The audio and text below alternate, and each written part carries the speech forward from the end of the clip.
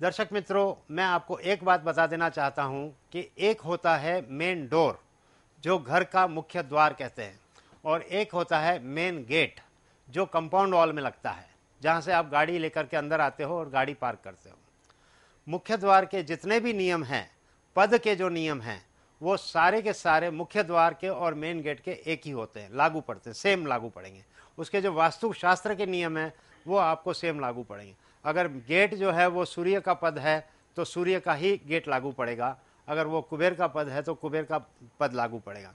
इसलिए आपको, अगर आपके मन में ये सवाल है कि भाई ये बात मुख्य द्वार की है या मुख्य गेट की है तो आप जान लें कि दोनों के लिए रूल्स सेम हैं। दर्शक मित्रों, अब सवाल आता है कि मुख्य द्वार कैसा होना चाहिए? शास्त्र ने बहुत सरलता से ये कहा है कि मुख्य द्वार स्मूथ एंड थिक होना चाहिए। मुख्य द्वार मोटा और सरल और सपाट होना चाहिए, जैसे आपके फ्लश डोर्स होते हैं। आप होटलों में अगर जाते हैं तो आपने देखा होगा कि होटल के अंदर एक फ्लश डोर लगा होता है। जो मोटाई है मुख्य द्वार की, वो सिक्योरिटी का बहुत बड़ा कारक है कि जो मुख्य द्वार अगर मोटा होगा तो आपका जीवन उतना सुरक्षित होगा। मोटाई का संकेत है अधिक सुरक्षा। अगर पतला द्वार होगा तो आपकी सुरक्षा जो है वो कम हो जाएगी। इसलिए मुख्य द्वार मोटा होना चाहिए। दूसरी बात यह है कि मुख्य द्वार स्मूथ होना चाहिए। खरबचड़ा नहीं होना चाहिए। स्मूथ से यह मतलब है कि आपका जीवन सरल है। लेकिन अगर उसके अंदर आप बहुत सारी डिजाइन्स देते हैं और उसके ऊपर थोड़ा सा एम्बॉसिंग करते हैं, थोड़ा सा आप उसके एम्बॉस किया, थोड़ा खड्डा किया, थोड़ा एम्बॉस किया, थोड़ा रफ कर दिया है तो आपका जीवन रफ हो जाएगा। इसलिए मुख्य द्वार स्मूथ एंड थिक बस आप इतना ही समझ लीजिए। ऐसा होना चाहिए। दर्शकों, सिविल इंजीनियरिंग की भाषा में बात करूँ तो लिंटल लेवल जब आता है, तब खिड़की के लिंटल लेवल तक जब मैशनरी वर्क आ जाता है, जब ईट की चुनवाई लिंटल लेवल तक आ जाती है मतलब समझ लीजिए कि पौने सात फुट या सात फुट तक आ जाती है, तब जो आरसीसी का काम करते हैं, जो लिंटल बांधते हैं, वो लोग क्या करते हैं कि एक लेवल निकालते हैं। अभी ऐसा होता है। एक लेवल के निकाल करके खिड़की और मुख्य द्वार दोनों का लेवल बाँध करके वहाँ एक पतली डोरी, सुथारी डोरी जो आती है, वो सुथारी डोरी जिसका एक आ, ऐसा हम जैसे पतंग उड़ाने के समय एक पिंडा बनाते हैं ऐसा एक पिंडा होता है उस डोरी से लेवल को बाँध देते हैं। और फिर वो वहाँ पर लकड़ी के जो फट्टे होते हैं वो बाँध करके उसमें वो लोग लिंटल या बीम कास्टिंग करते हैं। दो या चार सलिया उसमें डाल करके रिंग में बाँध करके वहाँ डालते हैं। फिर उसको सूखने देते हैं तीन दिन फिर लिंटल के ऊपर फिर मशीनरी वर्क शुरू करते हैं और फिर स्लैब भरा जाता है। स्पीड में काम करने की चेष्टा में मुख्य द्वार और खिड़कियाँ जो हैं, उसकी जो हाइट है, वो एक ही पकड़ी जाती है। लेकिन, जब मकान बन जाता है और प्लास्टर होने से पहले जब वुड वर्क आता है, जब आपकी बारसाक लगती है, तब वुडन फ्रेम जब दरवाजे और खिड़की की लगती है, तब ये तय होता है कि खिड़कियों की जो बारसाक है, खिड़कियों की जो वुडन फ्रेम्स हैं, वो ढाई इंच बाय तीन इंच की होंगी और मुख्य द्वार की जो फ्रेम है, वो चार इंच बाय तीन इंच की होंगी। मतलब मुख्य द्वार की जो चौड़ाई है लकड़ी की, वो एक आधा इंच या एक इंच खिड़की से बड़ी होती है। होता यह है कि आपका ये मकान है और ये उसकी खिड़की है और ये उसका द्वार है और ये फिर एक और खिड़की है। तो लिंटल लेवल जो नापा गया, वो एक ही लेवल लेवल में नापा गया है। लेकिन इसकी जो खिड़की है खिड़की की जो लकड़ी है वो ढाई इंच की है और मुख्य द्वार की जो लकड़ी है वो तीन इंच की है। तो क्या हो जाता है कि मुख्य द्वार जो है वो खिड़की से आधा इंच, एक इंच छोटा हो जाता है। और यहाँ पर आपने एक वास्तु दोष डाल दिया। मुख्य द्वार हमेशा सबसे ऊँचा होना चाहिए। खिड़की से ऊँचा तो होना ही चाहिए लेकिन मुख्य द्वार हर दरवाजे से, हर कमरे के दरवाजे से भी ऊँचा होना चाहिए। आपके अंदर के जो कमरे के दरवाजे हैं, टॉयलेट बाथरूम के जो दरवाजे हैं, अगर वो खिड़की के लेवल पर होंगे तो चलेगा, लेकिन मुख्य द्वार जो है, वो सबसे ऊँचा होना चाहिए। पुराने ज़माने में इस दरवाजे के ऊपर एक वेंटिलेटर लगता था, और उस वेंटिलेटर को हम लूवर कहते हैं, सिविल इंजीनियरिंग की भाषा में। और इस लूवर को, इस वेंटिलेटर को वास्तुशास्त्र में महादेव जी की तीसरी आँख कहा गया है। दर्शक मित्रों, अगर आप नौ फुट का या दस फुट का या ग्यारह फुट का मुख्य द्वार नहीं रख सकते हैं आज की तारीख में तो कोई बात नहीं, लेकिन कम से कम अगर आप मुख्य द्वार अपने मकान का बनाएँ तो कम से कम खिड़की से ऊँचा तो वो होना ही चाहिए। चाहे फिर नाखून जितना ऊँचा हो, लेकिन वो ऊँचा होना चाहिए मुख्य द्वार का ये नियम है कि मुख्य द्वार खिड़की से या किसी अन्य दरवाजे से ऊँचा होना चाहिए। क्योंकि सारी जो ऊर्जाएँ हैं, सारी जो प्रगति के कारक हैं, वो सारे इस द्वार से आ रहे हैं। उसको संकोचित मत कीजिए दर्शक मित्रों। उसमें संकोच मत लाइए, विशाल द्वार होना चाहिए। उससे आपकी जो आपकी जो शोभा है समाज में, वो बढ़ेगी। दरवाजे की विशालता से पता चलता है कि आदमी कितना धनवान है या कितने अच्छे विचारों वाला है या समाज में उसका क्या नाम राजे महाराजाओं के महलों में अगर आप देखोगे तो दरवाजे 20-20, 25-25 फुट ऊँचे हुआ करते थे। मुख्य द्वार का कोना कभी ऐसे न काटें। ये ऐसे कोने नहीं कटने चाहिए। मुख्य द्वार में कभी आर्च न दें। खिड़कियों में आर्च न दें। अंदर के दरवाजों में आर्च न दें। किचन और ड्राइंग रूम के बीच में आर्च न दें। आर्च आर्च में तो पूरा रोमन एम्पायर खत्म हो गया। पूरा जो रोमन एम्पायर था, उसकी जो आर्किटेक्चर की जो सबसे मेन थीम थी, वो आर्चिस थी। उसमें रोमन एम्पायर खत्म हो गया वास्तु दोष में। आर्च जो है, ये वास्तु दोष है। अगर आप दरवाजे मुख्य द्वार का कोना काटते हैं तो ये वास्तु दोष है। वास्तु दोष राइट एंगल ही होना चाहिए। मुख्य द्वार राइट एंगल ही होना चाहिए और हर दरवाज़ा राइट एंगल होना चाहिए। आप मेरे घर पर आते हैं, दरवाज़ा डोर बेल बजाते हैं, मेरा दरवाज़ा घर के बाहर खुलता है और मैं आपसे कहता हूँ, आपका नाम जो भी है, हे अतिथि, आप चार कदम पीछे जाइए क्योंकि मैं दरवाज़ा खोल रहा हूँ और मैं दरवाज़ा बाहर को खोल रहा हूँ और फिर आपसे कहता हूँ, आओ। ऐसे किसी की आव भगत की जाती है? किसी की आवभगत ऐसे की जाती है। पुराने ज़माने में आवभगत ऐसे होती थी कि दरवाज़ा अंदर को खुलता था और मेहमान से कहते थे, हे अतिथि, पधारिए। ज़रूर पधारिए। हमें बहुत आनंद हुआ कि आप हमारे घर में आए। और दरवाज़ा खोलते के साथ दूसरा हाथ चलता था और कहते थे, हे अतिथि, पधारिए। अतिथि और मेहमान के बीच में एक अंतर है। मेहमान वो होता है जो तय समय पर आता है, जो ऑन इनविटेशन आता है। कि कल रात को आठ बजे आप मेरे घर रोटी खाने आना। इसको बोलते हैं मेहमान। अतिथि वो होता है जिसके आने की कोई तिथि नहीं है, वो अचानक आ जाता है। तो आप ऐसा बुलाते हो। सुबह सुबह आपके घर के द्वार के बाहर छह बजे आपको पता ही नहीं है कि महादेव जी खड़े हैं, विष्णु भगवान खड़े हैं, आशीर्वाद देने के लिए आए हैं, आपके घर में फेरी करने के लिए आए आप नहीं देख सकते हैं।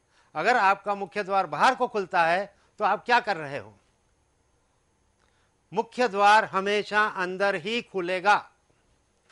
सारे दरवाजे कमरे के अंदर ही खुलेंगे, सारी खिड़कियाँ बाहर खुलेंगी। ये शास्त्र का नियम है। All doors must open inside all windows must open outside basic बहुत सरल भाषा में समझा दिया। कभी भी आपका मुख्य द्वार बाहर नहीं खुलना चाहिए। दुकानों में शॉपिंग कॉम्प्लेक्सेस में कांच के दरवाजे होते हैं और कांच के दरवाजे पर डिस्प्ले होती है। वो प्लास्टिक के कुछ हुक्स लगाते हैं, फिर उसमें डिस्प्ले करते हैं, फ्रॉक लगाते हैं, कुछ भी चीज़ें लगाते हैं। और उस दरवाजे को बाहर की तरफ़ खोला जाता है, ताकि डिस्प्ले दूर से ही कोई पैसेज में से कोई ग्राहक घूम रहा है तो दूर से उसको वो दरवाज़ा खुला हुआ है, उस पर डिस्प्ले है, वो दिखाई दे और वो दुकान में अंदर आएगा। अच्छे वास्तु से दुकान में ग्राहक आता है, डिस्प्ले करने से दुकान नहीं, दुकान में ग्राहक नहीं आता है।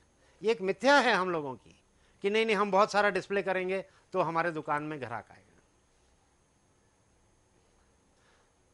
आप तो बल्कि आपके आने, दुकान पे आने वाला ग्राहक को आप पीछे धक्का मारते हैं, दरवाज़ा बाहर खोल करके। दरवाज़ा तो अंदर ही खुलना चाहिए। चाहे मकान का हो, चाहे कारखाने का हो, चाहे कोई भी हो। हाँ मैं ये समझ सकता हूँ कि मुख्य द्वार की यहाँ पर बात हो रही है, इसलिए अगर आपके मन में कोई वहम है कि अरे, मेरा मुख्य द्वार तो अंदर खुल रहा है, लेकिन मेरे दरवाजे के बाहर ग्रिल लगी हुई है, वो तो बाहर खुलती है। वो तो हम भी समझते हैं कि ग्रिल तो बाहर ही खुलेगी। क्योंकि अगर सिक्योरिटी का मामला है और आपने ग्रिल दी है, लेकिन वो आपका मुख्य द्वार नहीं है। आप ग्रिल के ऊपर दिवाली में शुभ लाभ नहीं लिखते हैं। जिस दरवाजे की पूजा करते हैं आप, वही आपका मुख्य द्वार है। मुख्य द्वार सबसे ऊँचा होगा, ये तो मैंने आपको कह ही दिया है, लेकिन मैं आपको ये भी कह दूँ कि आपका मुख्य द्वार सबसे चौड़ा भी होगा, क्योंकि मुख्य द्वार आवक का द्वार है, और आपकी रसोई में पिछवाड़े वॉश यार्ड में खुलने वाला जो द्वार है, वो ढाई फुट का होगा। मेन डोर आपका तीन फुट, साढ़े तीन फुट, चार फुट, पाँच फुट, जो लेना है लीजिए। आवक से जावक कम होनी चाहिए। मुख्य द्वार से आवक होती है रसोई के पिछवाड़े के द्वार से जावक होती है। इसका मतलब अगर आपका मेन डोर तीन फुट का है और रियर डोर जो है, पीछे का दरवाज़ा जो वॉश यार्ड का है, चौकड़ी में जो जाता है, वो अगर ढाई फुट का है, इसका मतलब आपके पास आधे फुट की बरकत है। लेकिन अगर आपके घर में तीन दरवाजे हैं या चार दरवाजे हैं जो मार्जिन में खुलते हैं तो एक मुख्य द्वार है, एक रसोई में से बाहर जाता है, एक मैंने बेडरूम से भी दे दिया है, एक हमने ड्राइंग रूम से भी दे दिया है तो इस तो मुख्य द्वार सिर्फ़ एक है, बाकी के सब दरवाजे जावक के हैं। फिर ये नहीं नहीं कहना कि हमारे घर में बरकत नहीं है। आपने आवक का एक ही दरवाज़ा रखा है और जावक के तीन दरवाजे खोल दिए और फिर आप ये कंप्लेन कर रहे हैं कि मेरे घर में बरकत नहीं है। आपने इतने सारे पंचर कर दिए हैं जावक के लिए, पैसा यहाँ से भी जा रहा है, यहाँ से भी जा रहा है, यहाँ से भी जा रहा है, और आ रहा है सिर्फ़ एक जगह से। तो आपके बरकत नहीं आएगी ह्यूमन बॉडी भी ऐसी है। आवक और जावक की सिस्टम बनाई हुई है। इसीलिए कहते हैं ये मानव शरीर है। इसको मानव शरीर की हैसियत से देखिए। मकान जो है वो आपका मानव शरीर है।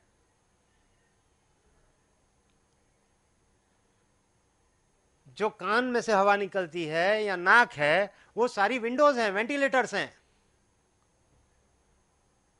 और वो होना ही चाहिए। आपका मकान सांस लेता ही है। आपकी जो स्किन है, वो भी ब्रीथ करती है, ये आपको शायद पता होगा या नहीं पता होगा। ऐसा नहीं है कि सिर्फ़ आप नाक से या मुँह से ही सांस लेते हैं। आपकी स्किन जो है, वो ब्रीथ करती है। उसका भी बीस प्रतिशत हिस्सा होता है, मैं समझता हूँ जब तक। उतना वो ब्रीदिंग करती है, वो भी ऑक्सीजन लेकर के आपके शरीर को देती है। आपका मकान ऑक्सीजन कहाँ से लेता है? खाली मुख्य द्वार से नहीं लेता है, खिड़कियों से ऑक्सीजन लेता है। वेंटिलेशन में से गर्म हवा को बाहर निकाल देता है। पुराने ज़माने में 12 फुट के मकान होते थे। और ये होता था कि ये आपकी प्लिंथ है। ये फ़र्ज़ कर लीजिए ये आपका प्लॉट है। ये आपके मकान की प्लिंथ है तीन फुट की।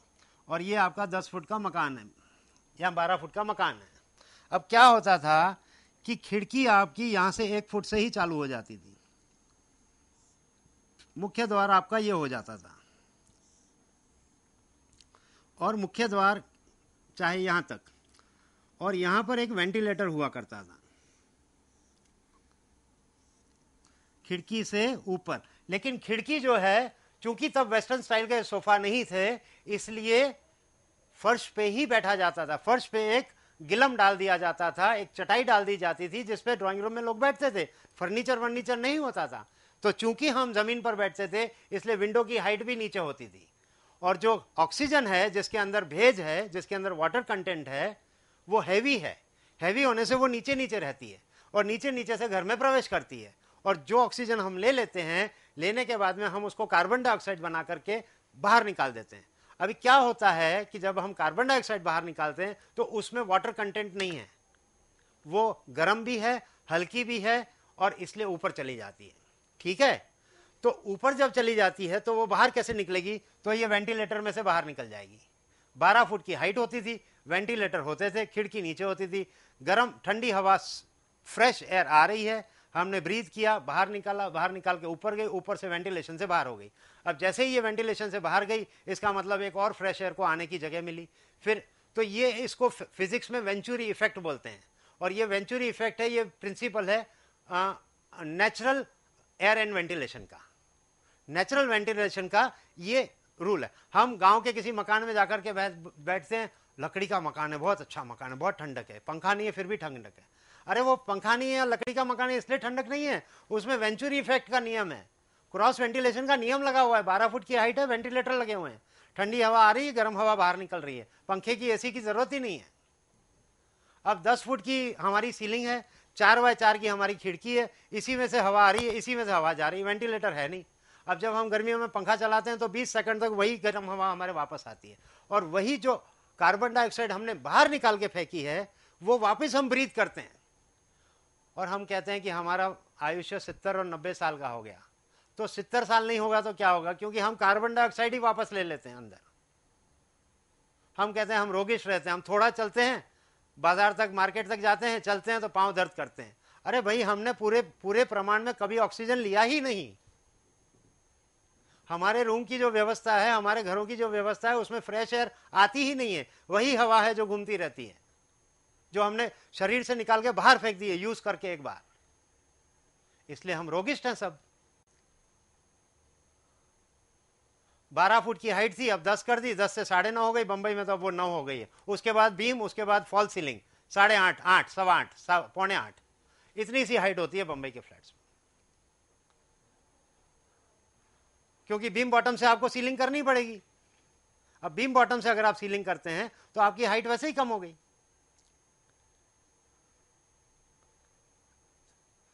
तो जो वॉल्यूम था, जो विशालता थी मकानों की, भुवनों की, वो विशालता खत्म हो गई। छोटे मकान हो गए